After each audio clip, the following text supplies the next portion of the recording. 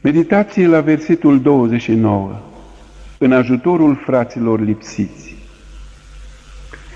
Iată unul din cele mai alese și mai binecuvântate daruri ale lui Dumnezeu în biserica sa, într-ajutorarea frățească.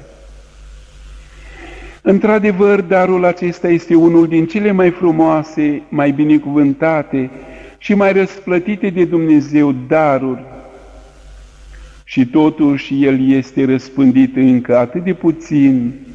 Și vezi și auzi atât de puțin despre acest dar minunat.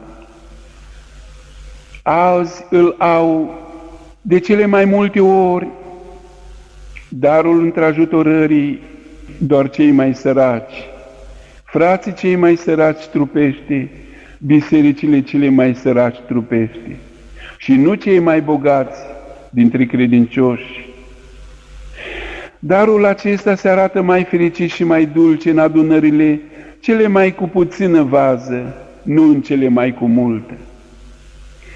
Fiindcă cine face binele, bine, acela nu-l face niciodată să-l știe stânga, mai ales stânga, ci face binele bine, să nu-l știe decât cel care vede în ascuns și nu-l face ca să fie văzut, mai ales văzut. Și pentru ca să vedeți că nu oricine are acest dar, am să vă povestesc o întâmplare adevărată spusă de un frate care a văzut cu ochii lui aceasta. Eram întâmplător, spune fratele, în ziua întâia de Crăciunul trecut într-un oraș mare și treceam pe lângă ușa unei mari și lăudate adunări, plină de predicatori vestiți, care aveau un cor mare, o orchestră mare, cum nu prea sunt altele.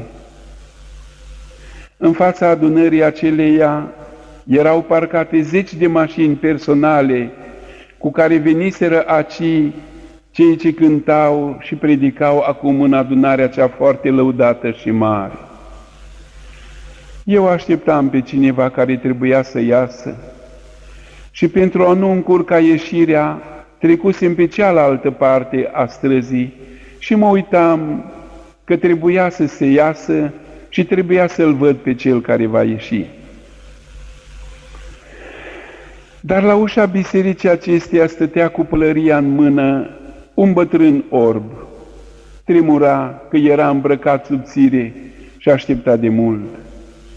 Lângă el un băiat năltuț și slab, îmbrăcat numai cu un jerseu alb și subțire, tremura și el așteptând lângă tatăl său orb, pe care îl adusese până aici, să capete ceva și aștepta apoi să-l ducă înapoi cu ce a căpătat de la cei ce se rugaseră.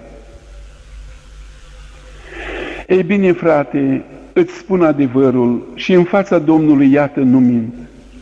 Au început să iasă doi câte doi, vorbind, râzând, strângându-și mâinile, felicitându-se de sărbători. Și uitându-se unii la alții, au trecut toți pe lângă cei doi care tremurau, fără să-i vadă nimeni. Dar absolut pe nimeni n-am văzut oprindu-se și apropiindu-se de ei cu un cuvânt sau cu un ban. După ce unii s-au suit în mașinile care îi așteptau, iar ceilalți au luat-o perechi sau în grupuri, toți fericiți, spre casele lor calde și mesele lor pline ca de Crăciun, și-a luat și băiețelul năltuț și subțirel pe tatăl său cărunt și orb. Și-au plecat tremurând și ștergându-și ochii, nu știu de frig sau de lacrimi. Cum va fi primit oare Dumnezeu rugăciunile acestora la acest Crăciun? Și cum va fi privit El la fapta lor? E ușor să ne închipuim fiecare, dacă vrem. Și totuși, cine dintre ei s-a simțit că ar fi păcătuit cu ceva față de Dumnezeu când se așezaseră la masa lor plină în sărbătoarea aceasta fericită? Cui a căzut măcar o lacrimă amară în cafeaua lor dulce de Crăciun pentru păcatul făptuit împotriva unui bine care îl putea face și nu l-au făcut, pentru ajutorarea unui nenorocit pe care puteau să-l ajute, dar nu l-au văzut. Cine știe dacă cei doi nu fuseseră doi îngeri trimiși de Dumnezeu acolo? Cum nu se știe dacă la cercetorul sau cercetoarea care vine des la noi. În locul lui nu se înfățișează la ușa noastră un înger al lui Dumnezeu, ca să vadă El cum știm noi să împlinim cuvântul Sfânt, cum știm noi să trăim Evanghelia pe care o predicăm și pe care o tot auzim de atâta vreme. De altfel, pe unele daruri despre care am zis mai înainte, nici cuvântul lui Dumnezeu nu le încurajează și nicăieri nu se spune special despre vreo răsplătire deosebită pentru ele, pentru profeții, pentru vorbiri în limbi. Dar despre cele ce ne învață Dumnezeu să le împlinim cu fapta noastră câte promisiuni și câte făgăduințe sfinte avem. Celor ce învață pe alții să umble în neprihănire, ce frumos li se făgăduiește că vor fi răsplătiți. La Matei 13, 43. Cui face bine altora, cu îmbracă pe cel gol, satură pe cel flămând, ajută pe cel lipsit. Ce răsplătiri minunate li se promit în cuvântul lui Dumnezeu. Celor care vor păstori bine turma Domnului, ce cunună minunată li se promite că vor primi, la 1 Petru 5:4. Iar celor care vor face bine altora, și celor care vor ajuta pe alții, ce mare răsplată li se făgăduiește pe toate paginile Sfântului Cuvânt al lui Dumnezeu. Deci, prea iubiților, umblați după darurile cele mai bune și vi se va da o moștenire nespus mai bună. Nu numai că veți fi izbăviți de ispitirile cele mai periculoase, dar veți primi răsplata ce ne spus mai minunată, cum scrie la 1 Corinteni 12, 31. Frații și surorile noastre în Domnul, veniți să ne cercetăm cum stăm noi față de acest mare dar și mare har duhovnicesc al ajutorării fraților care sunt în necaz, în lipsă și în suferință. Umblăm noi după lucrurile care sunt mai mult pentru o slavă trecătoare și pământească și personală pentru noi, sau mai mult umblăm după lucrurile tainice, ascunse și scumpe înaintea ochilor minunați a lui Dumnezeu. Avem noi darul întrajutorării frățești în inima noastră, în familia noastră, în adunarea noastră sau nu? Voi care aveți cât mai multe din comoditățile veacului acestuia auziți, te mustră pe tine, soră, blana scumpă pe care o porți, când lângă tine, sora ta, cu o familie grea, tremură într-o haină subțire și uzată? Sau nici nu te-ai gândit niciodată la asta? Nu strigă covorul tău luxos pe care îl ai când tu ți teamă să primești pe frați de grija de a nu-l umplea de praf sau de noroi. Nu strigă pâinea ta când o arunci, iar alții sunt flămânzi și lipsiți.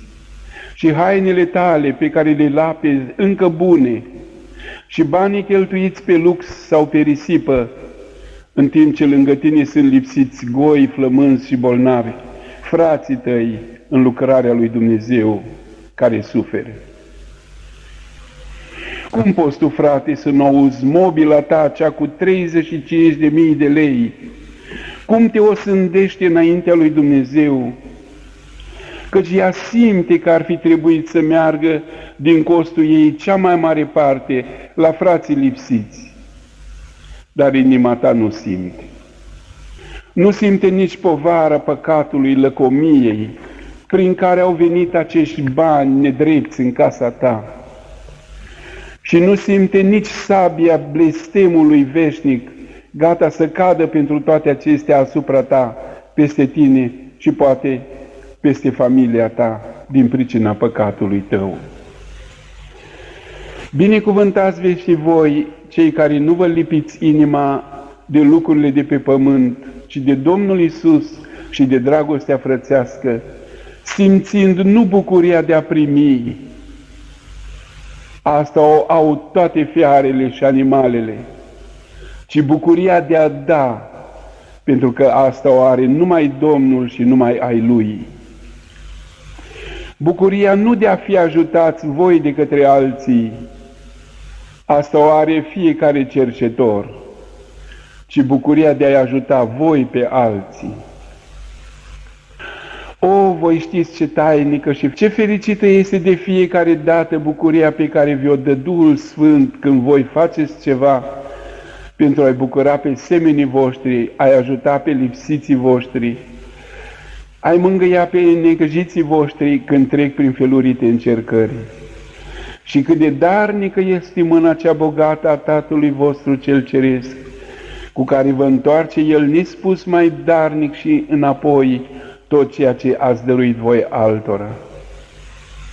Să-L rugăm pe Domnul Duhul Sfânt ca să ne dea și inimilor noastre și familiilor noastre și adunărilor noastre darul și harul cel mai plăcut și cel mai frumos înaintea Lui, al ajutorării celor lipsiți, al ajutorării fără zgârcenie, fără mustrări, fără laude, și fără nimic în schimb, că aceasta este darul cel mai rar și cel mai scump, dar cel mai puțin căutat, chiar de către cei credincioși. Slavă veșnică ție, Duhule Sfinte, vistiernicul tuturor bunătăților, care toate le împlinești cu îndestulare, și toate le răsplătești cu slavă.